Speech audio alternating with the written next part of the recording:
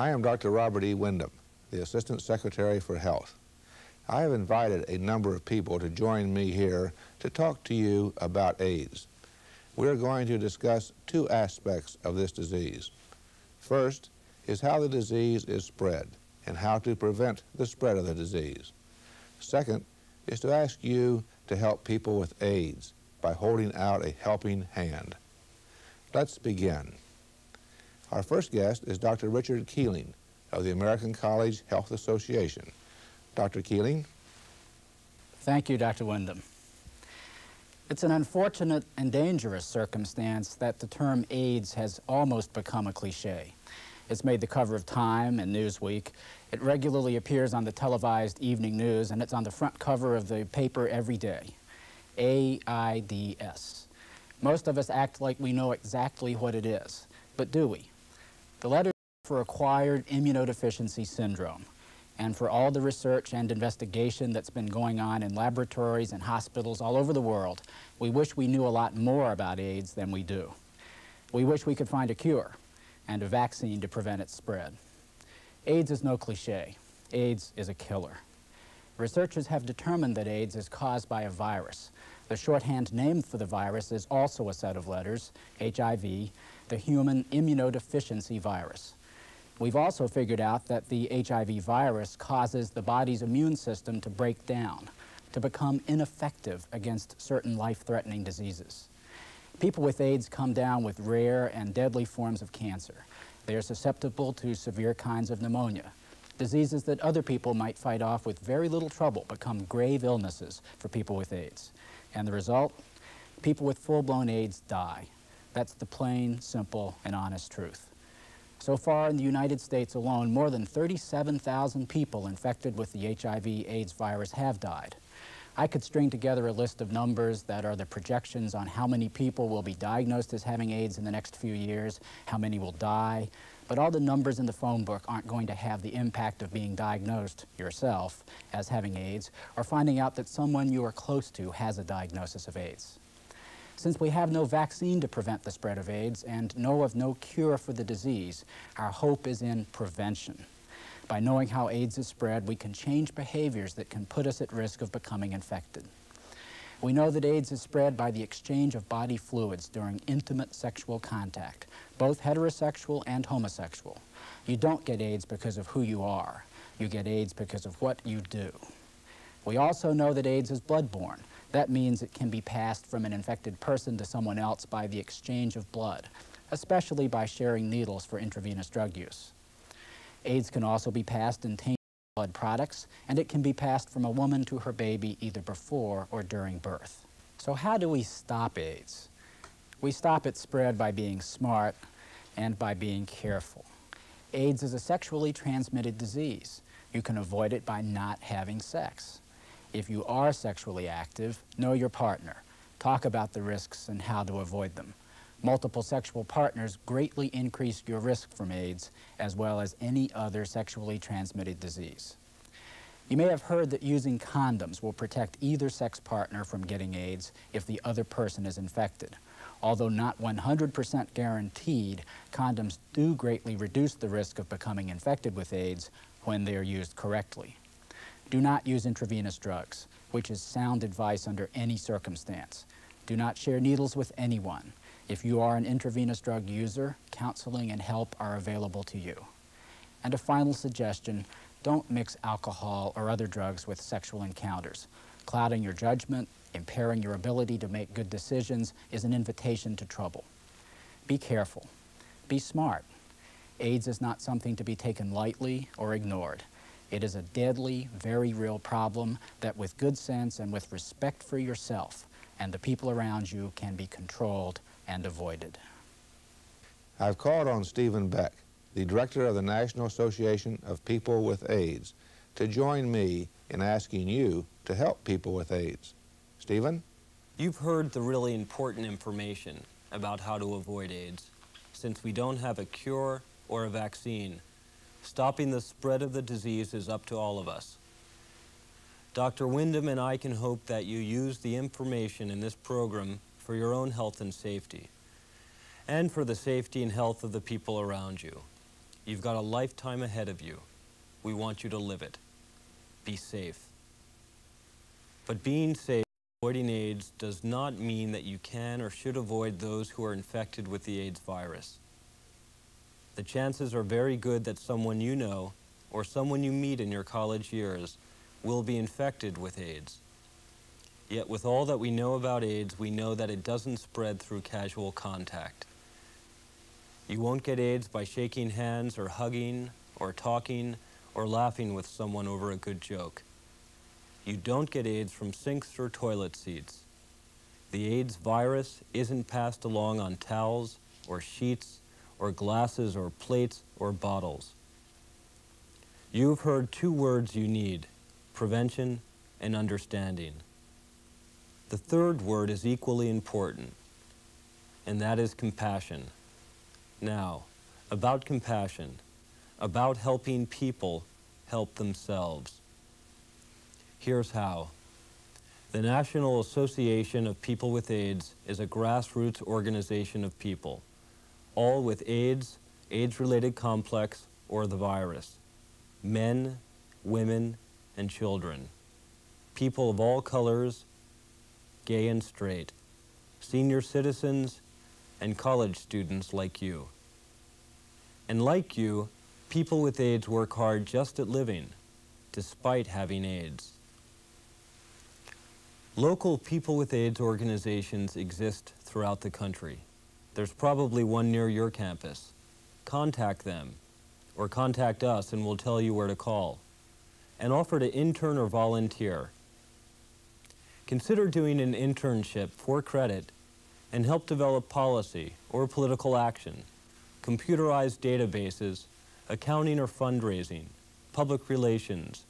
Journalism students can write for their newsletters or volunteer with the phones at special events or make people with AIDS organizations the beneficiaries of fundraising you do on campus or help an individual by driving someone to the doctor or to the supermarket or babysitting their kid. You can do something about AIDS. Like Dr. Windom and Dionne Warwick say, hold out a helping hand to people with AIDS, because that's what friends are for.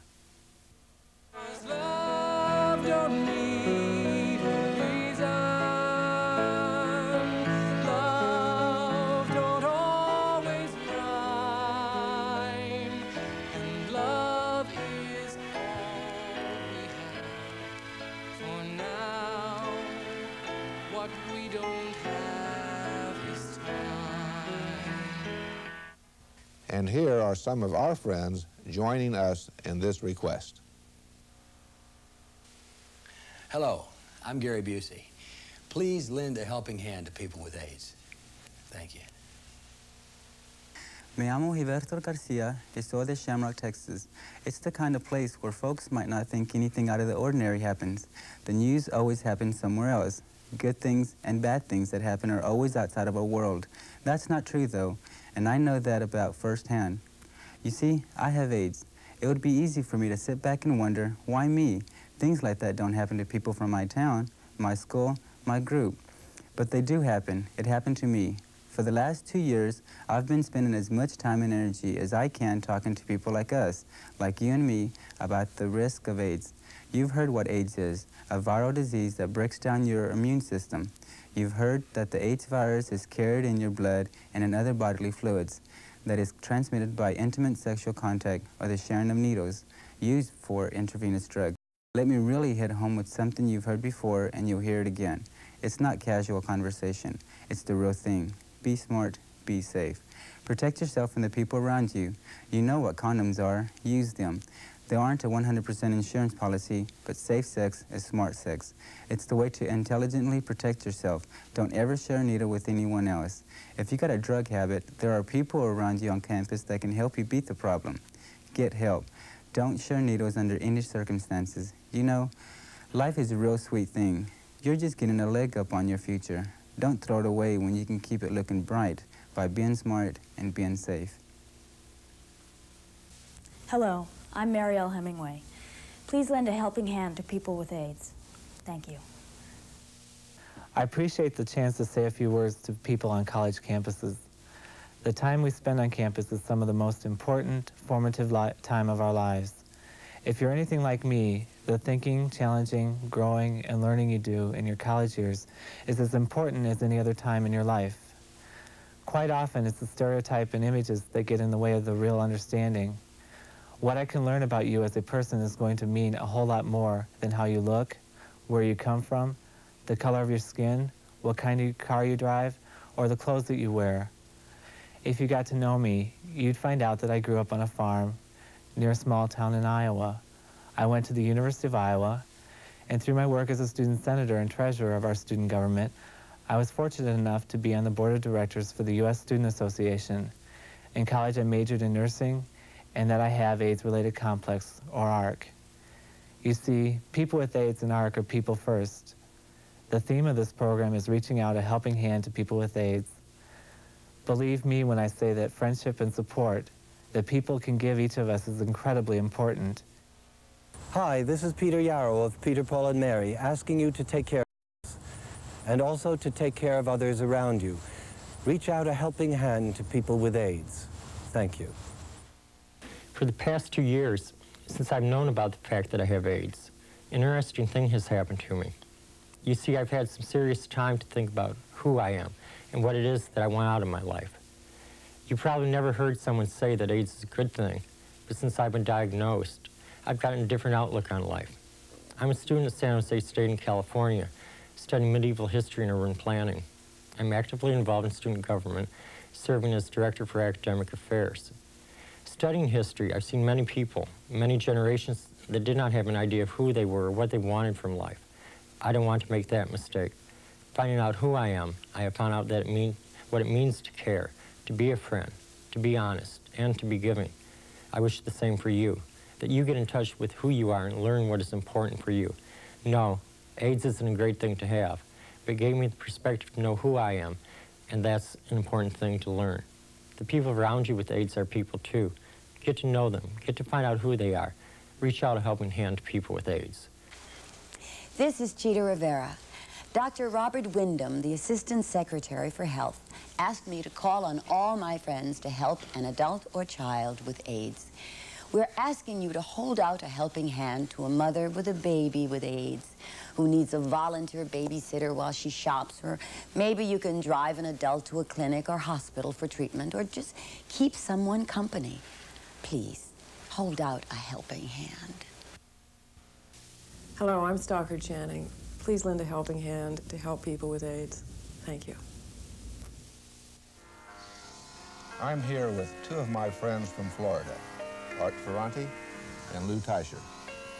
You usually see them holding their gifted hands over a piano, but not today. You too can have gifted hands when you hold them out to those who need your help. I'm talking about people with AIDS. Lou? You can make a real difference in the life of someone with AIDS. By doing simple chores or errands, not only will you be a big help, but you will also show that you care. Join us in holding out a helping hand to people with AIDS. Art, there. Dr. Windom. Hello, I'm Griffin Dunne. Please lend a helping hand to people with AIDS. Thank you. And now, ladies and gentlemen, a songbird Karen Akers. Everything that you try. Hi, I'm Karen Akers. Dr. Windom and I need your help. Please hold out a helping hand to people with AIDS. Hi, I'm Harvey Fierstein. Please lend a helping hand to people with AIDS. We do want people to help. People with AIDS have the same human needs as anyone else. They hurt when they're neglected or lonely, just like anyone else. Tell them, Vera. Anyone can get AIDS. I got it shooting drugs. I want to add a voice, add my voice, to those of Dr. Windom and Nell Carter. If you know somebody with AIDS, you can make a difference in their lives. You can drive them to a clinic. You can babysit their kids or visit with them. But even if you don't know anybody with AIDS, you can help, no? That's right. A journalist student could work on a newspaper.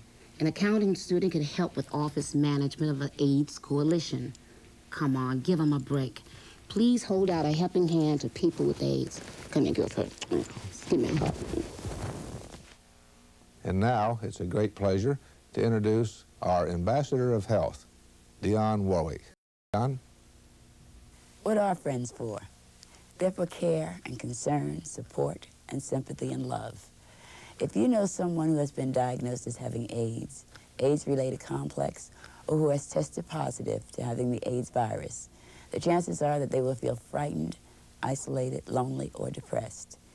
You can't get AIDS by being a listening, sympathetic, supportive friend. Your care and love will mean a whole lot to someone with AIDS, and that is what friends are for. Please, hold out a helping hand to people with AIDS. And now, I'd like to add my own personal request. Please, hold out a helping hand to people with AIDS. Thank you.